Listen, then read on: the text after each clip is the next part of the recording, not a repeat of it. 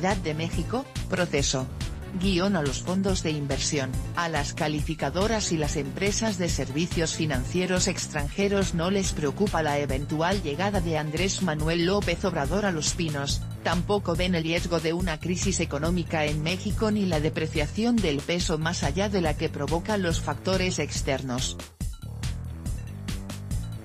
Sus pronósticos coinciden con los externados por los asesores del tabasqueño con quienes incluso se han reunido y contrastan con el pesimismo de instituciones como Citibanamex, Bancomer y de un sector furibundo del empresariado nacional.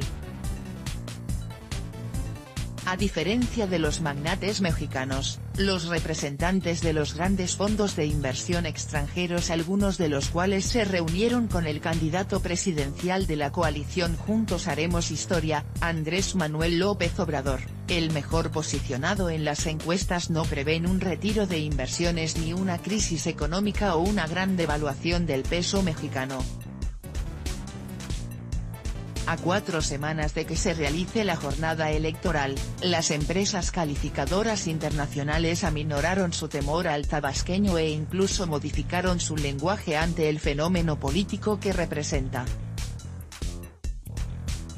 En contraste, instituciones crediticias como Citibanamex y Bancomer mantienen su pesimismo. En su informe del 21 de abril pasado, Citibanamex avizora un deterioro en la condición macro y microeconómica del país en caso de que López Obrador gane la presidencia y prevé una volatilidad de peso.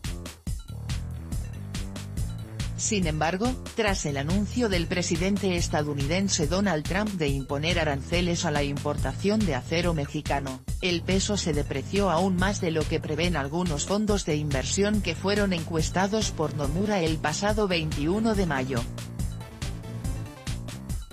Nomura, una de las empresas de servicios financieros más grande del mundo, encuestó a 109 de sus clientes inversores dispersados en todo el orbe, entre ellos fondos de inversión, bancos y miembros de la academia, el resultado, dado a conocer entre sus clientes el 30 de mayo y del cual proceso tiene copia, revela que los fondos de inversión son los más optimistas en cuanto a la oportunidad para adquirir activos, que los banqueros vislumbran una depreciación de 5% frente al dólar, que es menor a lo devaluado la semana pasada tras el anuncio del arancel al acero, y, en el mejor de los escenarios, los fondos consideran una apreciación en el mismo porcentaje.